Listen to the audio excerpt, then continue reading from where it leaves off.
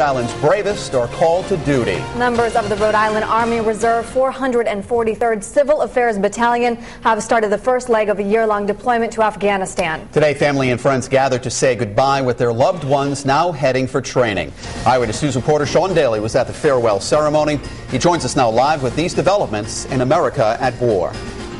Another deployment of soldiers in our area to dangerous Afghanistan right after Thanksgiving and just before Christmas.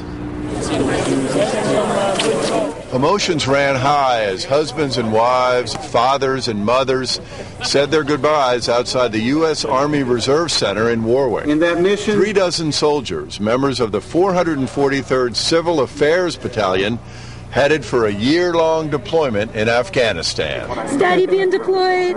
Yeah. We're going to miss him? Yeah. This is it, yeah. First time over. First. How you feeling? We're ready. We're all ready. We've been training and training and training, and now we're ready to go. We just want to get over there, get it started, so we can so we can come home. There's a lot of uncertainty. You don't know how everything's going to go, so we try to prepare and you know come up with a plan, but still we're not sure exactly what's going to happen next.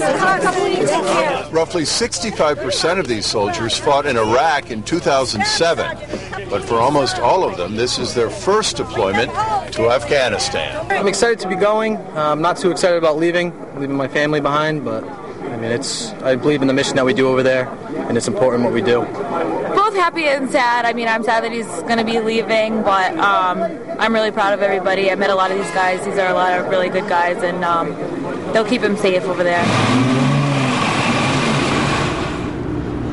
Right away, the soldiers are headed to Fort Dix in New Jersey for additional training. Then they'll come home for Christmas, and at the new year comes the real mission Afghanistan. Live with the West Bay Mobile Newsroom, Sean Daly, Eyewitness News.